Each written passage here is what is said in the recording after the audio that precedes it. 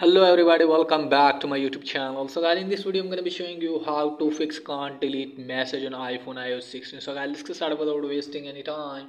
If you want to delete messages and it's not working for you then i'll show you how can you do it. So just simply look at for messages and then you have to open this one.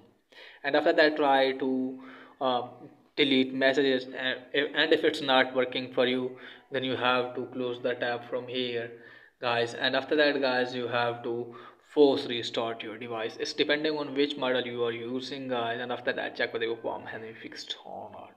And once this there guys just simply you have to open messages app and then you have to go to edit and then go to show recently deleted and you have to delete all your recently deleted conversation and after that try to delete conversations from your messages and then check whether your POM has been fixed or not.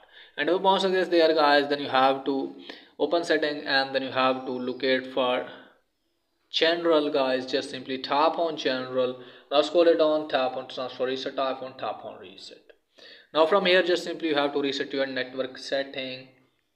Tap on reset network setting. This will delete all network setting returning them to factory defaults and after that guys you have to turn off your device at least for the 60 second and then turn back on. And after that hopefully your problem will be fixed. So that's it guys for today's video. If the video is helpful please like and subscribe my channel. Thanks for watching